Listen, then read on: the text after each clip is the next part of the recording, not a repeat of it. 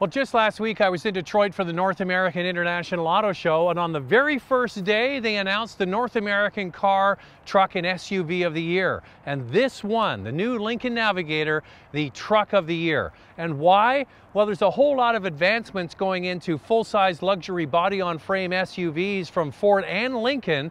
They hope are going to lure people away from the General Motors products. Now, if you follow the marketplace, you know Cadillac has such a massive lead when it comes to sales against the Navigator. And when you go down market into the mainline vehicles like the Suburban and the Tahoe, they outsell the Ford products. So what they decided to do was build a brand new full-size body-on-frame truck that would compete and they hope lure people away from those products. It's built on the F-150 platform, and all of the metal that you see that's paintable on the outside is aluminum, just like the Ford product. You get unique headlights in the front that have five lenses inside there that basically widen or narrow depending on the situation. Under 56 kilometers an hour at their widest projection to illuminate as much of the road as possible. And when you're on the highway, they narrow up to shoot down the road. Also the grille in the center there, you see the Lincoln Star, which on the top model actually illuminates at night. So you're gonna be able to notice that when you see them on the road. The one you see here has optional 22 inch wheels. Now sizes, much like the Ford Expedition, they have a shorter wheelbase version and a longer wheelbase version. There's basically only two trim levels in Canada, but inside each trim level there's a short wheelbase and a long wheelbase. We're on our way up to Whistler. We're actually in Porteau Cove. We're gonna drive, tell you more about this new Navigator, the new truck of the year. Now, as I mentioned, this is different than the Expedition. Let's talk about the similarities and then how it differs when you get the Navigator.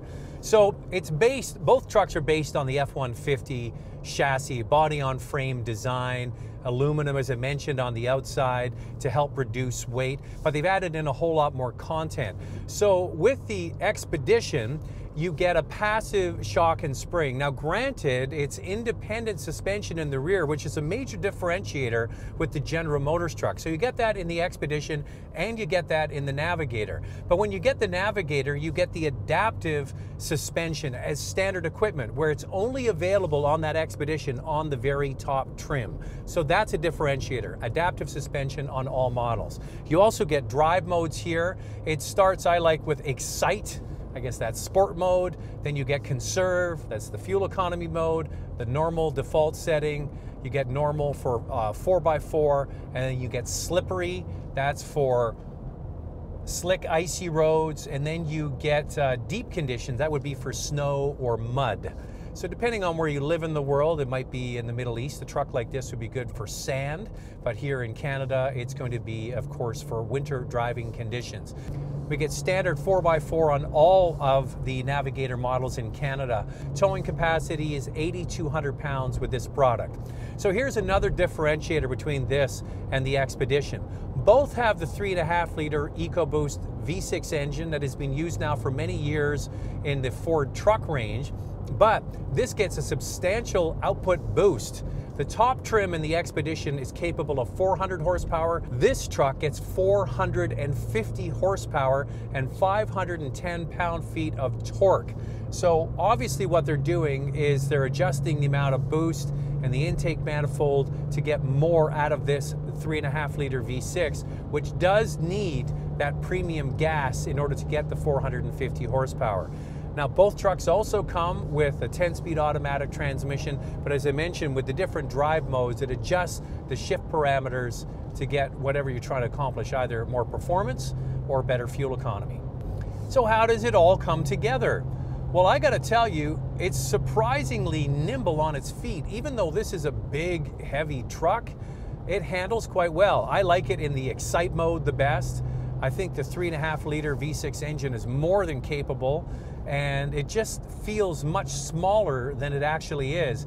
And this is a great road on the way to Whistler to test a vehicle like this because this is pretty much exactly what a truck like this will be used for. Driving kids around to activities and school during the week and then taking off and going skiing up to your cottage or chalet on the weekend. And it's absolutely at home. Yes, it's top heavy, it sits high in the saddle, but considering all of that, it's surprisingly good. Now, one of the criticisms I've had of Lincoln over the last few years with new products they brought out, like the Continental, is when you get on the inside, they really just look like warmed over and updated Ford products. With this Navigator, you can certainly see a difference between this and the Expedition. So the goal was to emulate yachts and private jets on the inside, and I think for the most part, mission accomplished. This is a very opulent interior. It looks like it's expensive, and it has lots of nice touches. I think the most noticeable thing when you get in is the floating 10-inch Sync 3 system. It is similar to the Ford system, but this looks so much different. It sits there with black around it, chrome. There's chrome around the center console and all the switch gear. You still have the push button gear selector in the center there. Push button or not, that's for you to decide whether you like it, but at least it's done in a very cohesive way. There seems to be kind of a floating theme here. That 10 inch sort of tablet is floating in front of the dashboard. The center console I have here is floating over the floor. You have lots of space underneath there to store things. Women will like to put their purse there, very well thought out. In the center of the console, there's a wireless charger for your phone, big cup holders. You can lift up here and there's a massive center console underneath for storing extra items as well.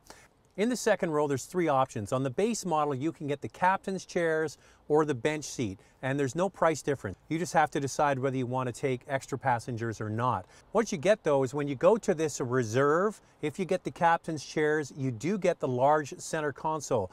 It too is floating above the floor. You'll see it juts out there. There's storage underneath. In behind the steering wheel, there's a 12.3 inch digital instrument cluster, which is configurable. What is above that though is an equally large heads up display. I said it when I was driving the Continental and I'll say it again with this product. It is the best heads-up display in the business. It's super bright. Even wearing polarized sunglasses, you can see it. And it's the same size as the instrument cluster behind the steering wheel. So a lot of real estate to project different things onto the heads-up display. Lincoln pointed out today that the very last row, the third row, the seats don't sit right on the floor. They sit up a little bit higher so that your legs aren't up around your ears, giving you a little bit more space. The seats are 24-way adjustable on the base model and 30-way adjustable on the front if you get the Reserve, the one that I'm driving here. Plus, these are also massage seats, so if that floats your boat, try that out as well. So this Lincoln Navigator is a luxury product with a luxury price tag. It starts at basically $88,000 for the short wheelbase version. If you want the long wheelbase version with the base select trim, it goes up to around 91,000. Then you get into the reserve. It starts at 91,000 and goes to 93 if you want the long wheelbase version. So this is an expensive product, but when you compare it to Cadillac, it's very competitive and it's a very different product from the Escalade. Independent rear suspension, drive modes that actually make quite a difference, where with the Cadillac, the suspension is kind of stiff. It's got a luxury interior with all kinds of different features depending on which seat you're in. I found it very comfortable. I really was impressed when I drove the Ford Expedition. This Navigator just takes it to a whole different level. If you want to save some money and get a similar experience, the Ford product might be the way to go, but if you're all about luxury, the Navigator doesn't disappoint.